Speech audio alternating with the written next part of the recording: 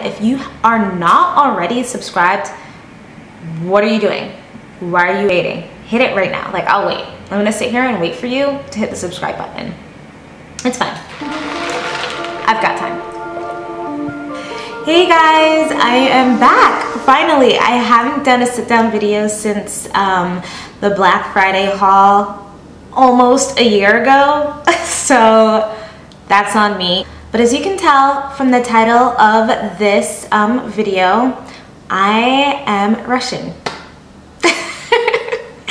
I am not really Russian, but I also kind of am. I did a DNA test um, for my ancestry and I found out a lot about myself and kind of where my lineage comes from. This video is just gonna be me telling you guys about my DNA ancestry results and it was super exciting. You actually saw me take the test if you watch my vlogs and I took the test all the way back in um, in August, I believe, and I got the results at the end of October, like the last week of October. So the company that I use to do this um, DNA test is called Home DNA, and they don't only do these ancestry tests, they do paternal tests, they do health DNA tests to kind of see what you're predisposed to. Um, so like if Alzheimer's runs in your family or if certain cancers run in your family. So if you're interested in it, not even just the ancestry, but just other things, you should really, really visit this company's website. Um, it is homedna.com. The tests are a little bit pricey, but I do have a discount code for you guys and I will link it in the description box below, so take a look there. So let's just get into my results. So a little background about me and who I am. I was born in Jamaica and then I moved to America when I was two years old and I was I lived and was raised in Connecticut and right now I live in Boston. But yeah, I was born in Jamaica. Both my parents are Jamaican. Um, my dad's dark like I am. My mom's really light. So my maternal grandmother was from Cuba. Um, that was our understanding. Um, and that she moved to Jamaica and then met my mom's dad and that's you know kind of how that happened. And my dad's side of the family is supposed to be like part of the maroons from jamaica who um, broke free of slavery and killed british soldiers whenever they tried to re-enslave them. And so that's a part of my dad's heritage that we're super proud of. So i was kind of expecting to kind of see those things come up in this dna test. That was not the case. Like not at all it was the most like unexpected results ever um, obviously i knew that we at some point originated from somewhere in africa and um, i i kind of prior to these results thought i was either originally or like my lineage began in either Nigeria or Ghana. I don't know why those two, but I just kind of figured it had to be one of those two. 31.4% of my DNA is Nigerian. And then the second largest is 18.1%, which is from um, the island of Madagascar, which is so freaking cool.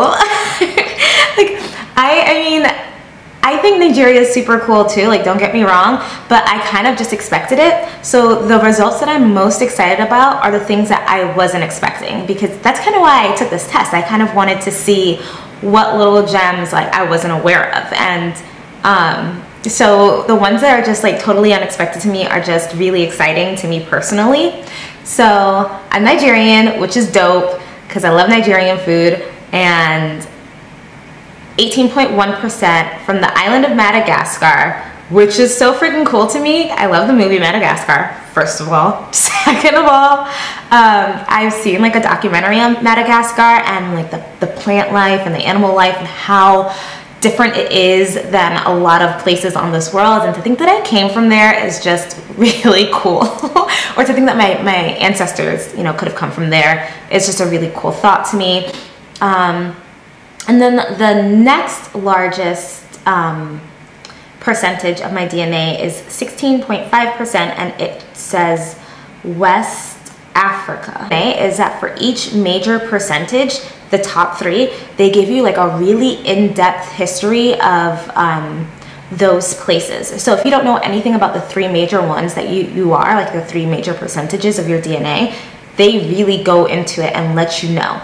The other cool thing about this specific test is that they have a map an interactive moving map with two different colored lines that show where your family would have migrated from. So this is my migration story A, um, and this is ancient ancestry in Nigeria. They only give you in-depth information for the top three though, but they tell you your entire breakdown, which is, I think, interesting. So, number one, Bantu Africa, 31.4%, and that kind of includes Nigeria, Senegal, Gambia, and Kenya. Then it goes 18.1% Madagascar, uh, West 16.5% West African, um, and they're including Mor Morocco? That can't be Morocco. Algeria, Gambia, and then 8.2% African Pygmy. I googled African Pygmies and um, that's my dad's side of the family for sure. That's 100%. Like I can't tell you any other breakdown of what side is um, is from what side of my family, like what side's my dad's side and what side's my mom's side. But when I saw the African pygmies, I was just like, that's my dad's side of the family, 100%. no shade at the pygmies or my dad's family.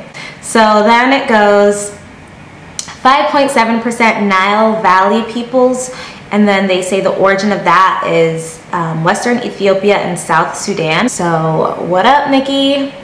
Sudanese. And so this is where it gets interesting and this is where the Russian starts to come into play, which is totally unexpected. It goes 5.6% Tuva. And I just don't know.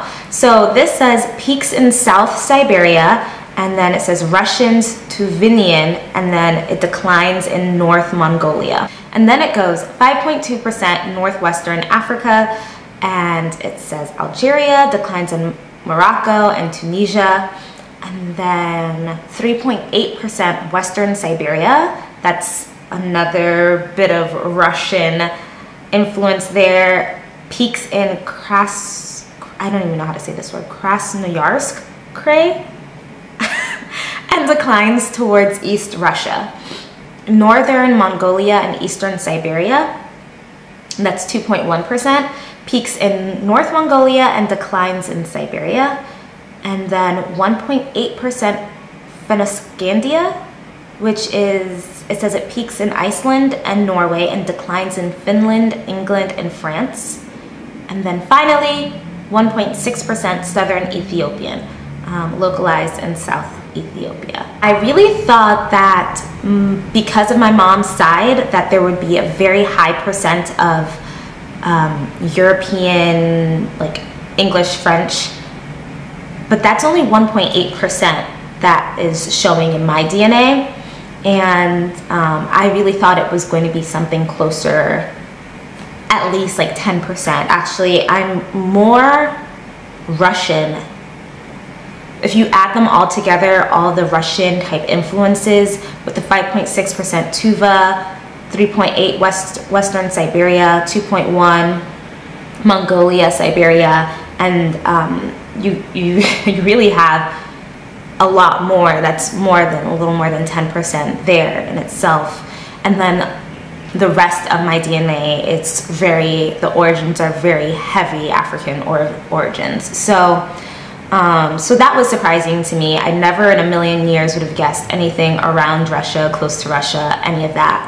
Um, and I've been looking into the people from those places and um, and I'm, it's just really fascinating to me. But I am super excited. This is something that I've been wanting to know the results of for so long just because, as you know, especially for African Americans, it's kind of hard to trace our lineage and our ancestry because of slavery and because of um, how damaging it was for our, our cultures, our heritage.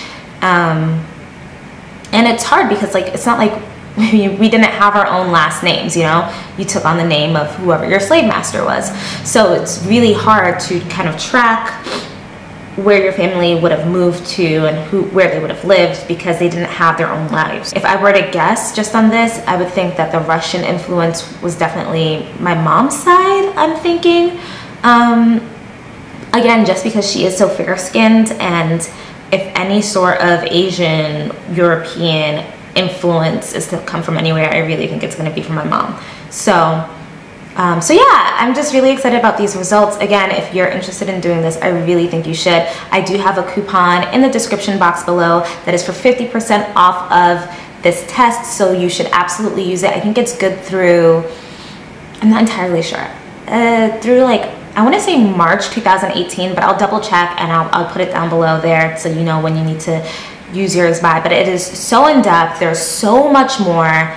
Um, in the in these results that I'm not even gonna get into or this video is gonna be forever long but it like my sister did 23andMe and she didn't find out half of this information. All right guys, um, I hope you like this video. Uh, again, subscribe, hit the thumbs up button and I will see you in the next one. Bye.